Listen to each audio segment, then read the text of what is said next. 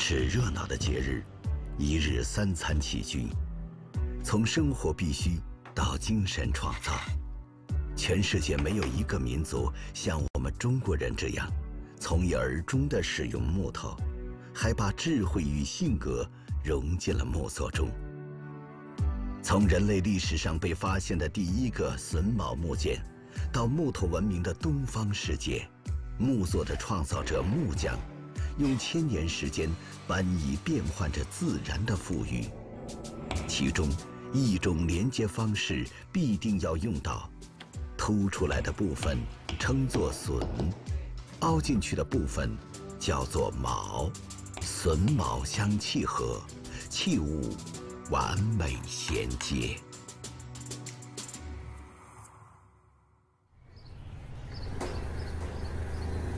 浙江天台的楚师傅，每天早上七点从乡下到天台县城上班。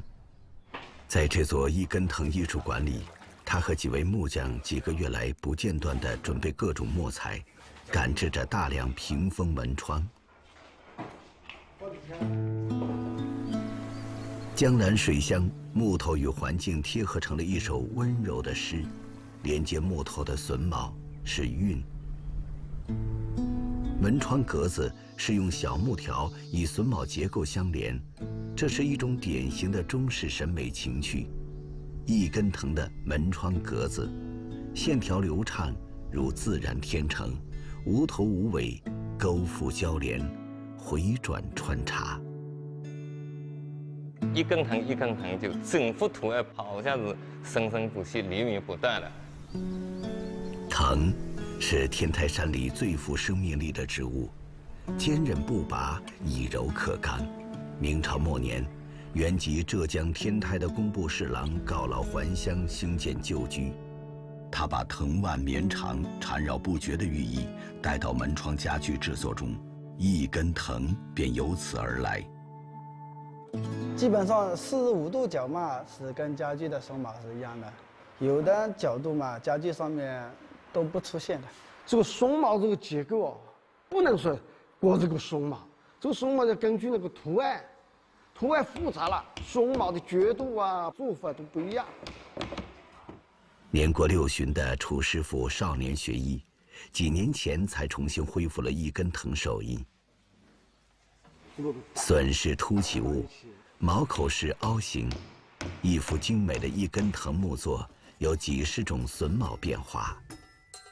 早在七千年前，河姆渡人就已使用榫卯。也许河姆渡人正是受了动物骨骼关节凸起凹陷的启发，制作了榫卯结构。数千年工匠智慧的结晶，使榫卯衍生出了千百种花样。一根藤，把这些榫卯囊括其中，不同的插接方式，不同的角度。让线条灵动起来，可以说是中国榫卯结构大全。就是两面屏风，中间五百五十六个木头做的，全中国都没有的，全世界没有的。基本上每一根木头角度都不同，每一道工序都个人都要认真做，在个人认真的基础下面，都有在化有误差。二零一零年，天台的沈家父子。将曾经制作一根藤的老工匠集中在一起，建成了一根藤木作艺术馆。而今，这间木工房里的师傅们是天台地区最后做一根藤的手艺人。五六十岁以上的能做的，我考虑就整个天台也挑不出十个人。明清时期，一根藤在富庶的江南地区盛行，近百年却逐渐消失。木条盘曲的一根藤蔓，传递着美满如意的祝愿，奥秘都在榫卯的走街上。两个狮子，事事平安。这里的寿，双狮捧寿，两头都是双喜临门。那这边你看，吉祥平安。这旁边呢是如意丸，这里呢四个角落是蝙蝠。寓意呢，四福保平。各种讨彩头的图案被拆分成不同的榫卯，唯有将榫卯运用自如，才能绘制出一幅图板。每一根条子都是要根据这个图纸长短、刀角角度，都按照图纸来做。图板像是建筑蓝图，每个榫卯的角度、位置都要计算精确，失之毫厘，整个木作就会报废。一个看似普通的五福挂屏，开料、打眼、锯榫头、组装、打磨，二十九道工序，师傅们要做上三十天。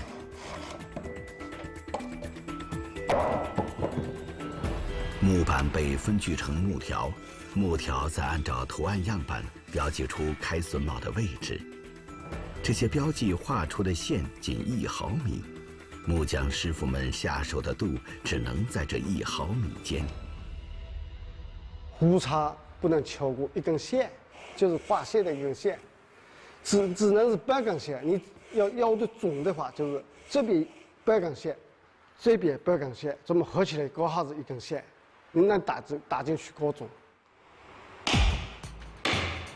沿着精细的线，在木条上先凿出毛眼，分锯成小段，再开榫头。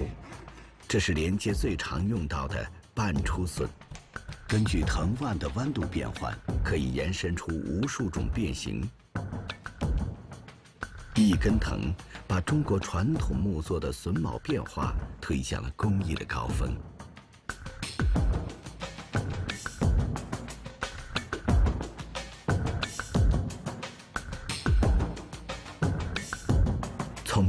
明的木匠将这种延绵的秘密掩藏得滴水不漏，用情趣和智慧表达着一种和和美满的信仰。在外头看的时候，它是非常的空灵。当你进入这个房间之后，外面的光线射到屋内，把那个影子投影到屋内，你会发现那个影子特别的灵动。老宅子里一根藤，不仅是生活里的一样物品，更是家族的记忆和精神。从门窗完工的那一瞬起，这番吉祥就伴随宅主生活，一代又一代延续。门窗亦或家具，榫卯都可以被模块化加工，不同的转接方式用相应功能的榫卯相连，就这样。一整组的扣合，搭建起了一张木椅，一栋房子。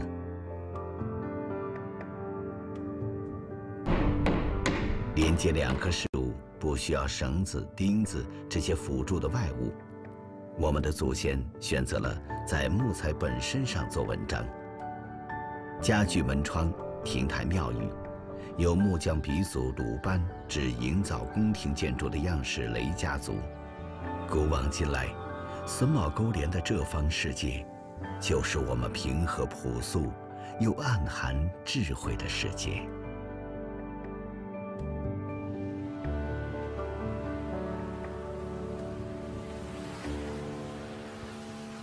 在上海市华草文化活动中心，六十岁的王振华在迎接四十年没见的老师同学，他用全木榫卯。造了一个天坛祈年殿微缩模型，声名大噪。木雕大师郭光正，给他去鉴定。那天我跟你们说，同学们，没事吗？看行啊。他情况呢，这个马做的人挺很多的，有小叶紫檀的，有景泰蓝的。你这个是紫光塔，我一听慌了。从材料上肯定说的。但是，像你这样全榫卯结构、全装配、不变号、不变形，东阳木雕城二十年出不了这个，全中国出不了一一个。祈年殿模型原比例缩小八十一倍，每扇门用手指轻轻一推就能打开。三层重檐呈伞状向上逐层收缩，与人们瞻仰祈年殿时一模一样。模型制作历时五年，经过了十万道工序。古代建筑营造先从小样开始，用全榫卯再现古代建筑，是王振华近乎痴狂的木工梦想。我就想，人家用胶水，我不用胶水；人家是不能拆卸，我全部要拆卸；人家不能用鲁班锁锁定，我要鲁班锁锁定。世间最完美的合作就是榫与卯，其中蕴含不把事做绝、不把路堵死的做人哲学。起承转折都是活扣，拆卸组装不伤器物。像样子雷这么一个伟大的工匠没有了，我们为什么要用胶水？做不小，你想办法；做不住，你去理解呀。榫卯的应用在家具中，成就了中国含蓄内敛的审美观；在建筑上，侧重结构稳定。其限令三十二个燕尾榫，六十个直榫，十二个螺纹圆柱销，最小榫卯仅一点五毫米。所有零件不编号，可互换拼装，构成了这个微缩奇观。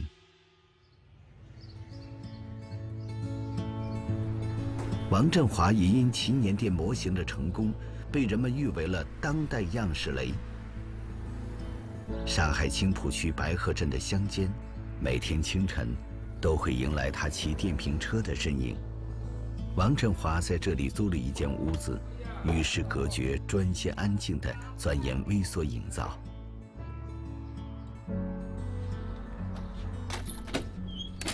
这个就是我做的那个防盗的窗。你那个不锈钢做的，你在做做的在外面做的再好，没有要保护好这个里面。如果不保护好这这个里面，别开土啊，很智慧的，这几年的心血在里面。这个倔强有趣的木匠，成功挑战七年殿后，又在筹划着新作品——赵朱桥，力学结构依靠榫卯铸造而成的奇观。王振华决心。第二件作品用全木榫卯结构挑战石头搭建的力学经典。我要把零碎钞票扒了拿的。暑夏的上海，王振华带上妻子出发去河北赵县，对赵州桥进行实地测绘。一千四百年前，赵州桥上车水马龙，历经千载。风霜洗礼，地震战火，它还巍然如长虹，横跨于小河上。这样一个倒影，这样的桥，美不美？美。这座桥非常美。呃，三四对。桥洞不是普通的半圆形，而像是一张弓，因而大拱上面的道路没有陡坡，便于车马上下。大拱有二十八道拱券拼成，好像二十八个同样形状的弓合拢在一起。每道拱券都能独立支撑上面的重量。那数好了吧？多少？三百八十五。啊，三百八十五，我是三百六十八。成就这座桥的灵魂，就是铁榫和石砖锚，在两侧外旋相邻拱石之间。穿有起连接作用的腰铁，各道旋之间也有腰铁把拱石连锁。榫卯的思维根深蒂固，可以将其任意发挥。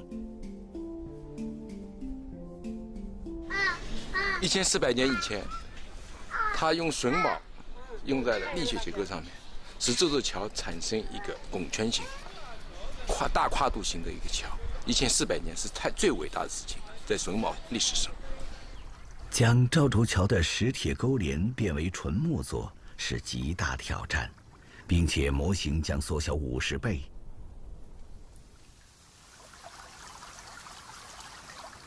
测绘回来后，王振华开始制作。他选用了黑檀木做模型主要材料，紫檀做辅助材料。黑檀相当于赵州桥的石砖卯。紫檀相当于链接砖块的铁榫，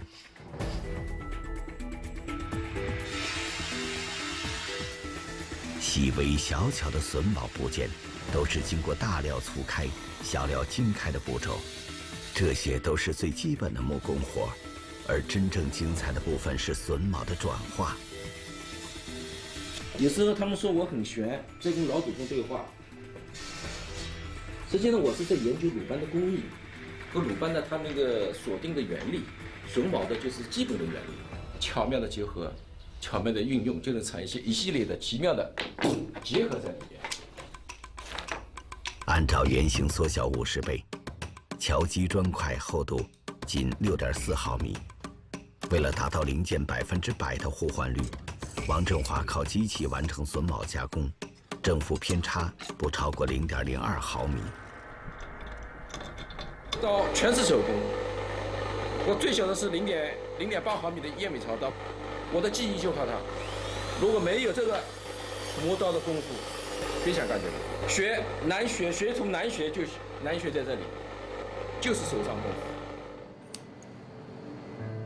一九五八年出生的王振华，自幼喜爱古建筑，十六岁自学木工，学习各种榫卯结构制作工艺。但是后来却从事了工程技术工作。二零一零年，王振华终于放弃一切，重拾木工梦想，开始全榫卯微缩营造。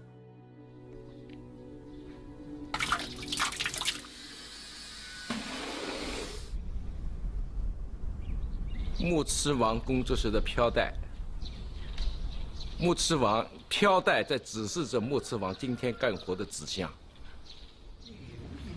赵州桥的稳定，除了石块之间的力学作用，还依靠榫卯将浑然一体的桥身牢牢锁死。木头比石材轻，如果完全按照原结构设计，单挑工匠的大拱会像蛇一样不稳定。王振华想到用锁定榫卯的方式加固桥基。我现在做的呢，就是这种全锁定鲁班锁。为什么要做它？我要锁定它。鲁班的六根鲁班锁它没锁定，因为工程上它不需要锁定。那么我在造赵州桥的时候，我运用它六根鲁班锁的锁定的原理，就是那个桥基中心的部分，就是几个鲁班锁的连接，然后我再铺石。老祖宗非常智慧的一种方式，形成我这个模型的结构。在没有钉子、绳子、结合剂的情况下，两千多年前，鲁班就发明了一种方法，用咬合的方式把六根木条垂直相交固定。鲁班锁就是古建筑的定位器和锁定器。你们不要以为鲁班锁就是它，错了。在建筑上面，这只要垂直方向都是不显微的，但水平全部是锁定的。开出的部分榫卯可以拼接赵州桥的大拱券。这些小木块，每一个形状大小几乎丝毫不差，不编号就能随意拼插。三到一组，互相交错，不是二十八刀全部上去。通过承压测试，模型的承重力达到了五十千克。可是这批零件拼合后，王振华又发现了一个大问题：设计上面犯了一个严重的错误。力是解决问题了，稳定性也解决了，但是我上面的板子少了一道，少了一道榫卯，必须要销毁。阿姨，我出去了，帮我门看看啊。啊，好的。交关辰光了啊。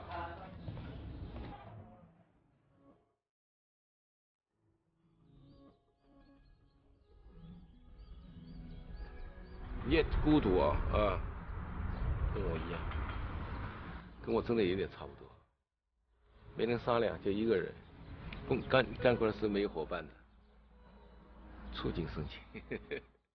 走到这条路上是我最困难的时候啊，困难的就走到这条路上了，想不出啊，也是要转换思路嘛。我还想就是在比较简易的一种拼接方式，零件数要多，零件种类要少。我不光要求造型艺术、神似和形式问题，主要是什么？榫卯文化要彻底。好多人都问我，榫卯有有多少种类？我跟他说，榫卯是个大海，数不清。工匠是在一个特特殊的结构需需求，设计出不同的榫卯结构，有的是连名字都没办法起。在当下这个奇思妙想的物质世界，勾连部件、构建器物，有各种丰富的选择，甚至可以 3D 打印。可是用木头玩转榫卯，却是中国文化里特有的智慧。走了啊！啊啊！我爱你啊！啊，路上当心点。嗯。不能浇水，不应编号，材料不变形三个不，这三个不害死我，害了我五年了，但是我研究出来了。转换，只为最终的圆满，正是古今匠人们用倔强成就了榫卯千百种，光煞千万件。王振华下定决心。赵州桥模型的一切设计与制作，从头再来。在这里将近有五年多了，快六年多了，不允许半成品从这种门出去。这这次烧的感觉就不一样，比孙悟空九九八十一难还难。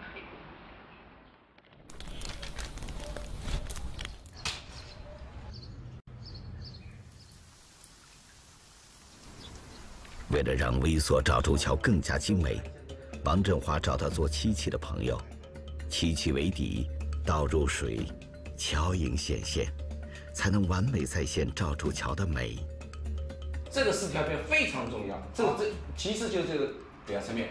好好，好吧。这个这个四条边这样，你来，我来调纸啊，你来调纸，然后我在家里这两天，我在家里先给他先修一下，一个倒影就全靠他。深秋的上海郊区，青色已变为金黄。又是几个月的时间，王振华日复一日地往返于现实和梦想中。赵州桥的模型终于完成了全部设计，承载力度的二十八道长拱和四个小拱加工完成，倒影底座运到了他的工作室。虽然桥面和围栏的制作还没完成。但将桥基与底座架合，桥已初具模样。哎，倒影在全部出来，非非常漂亮。哎，绝对。你看我这只的榫卯啊，最小是一点二，深度是二点七毫米啊。哎呦，这次这一次呢是榫卯在力学结构上的体现，祈年殿呢是什么？是古建筑微缩营造的体现。我在做的时候，真正体会到了古人的伟大。哎呀，哥，你看啊，它这个锁定的，看到吗？对对对，看到了，来，锁定了之后，然后再一起起的，啊。每个细节看似与桥相同，却又暗含玄机，略有不同。有心之人才能体味每一个零件饱含的巧思。像王振华一样，一代又一代能工巧匠，用千百年时间，生生不息地把智慧写进了榫卯的历史。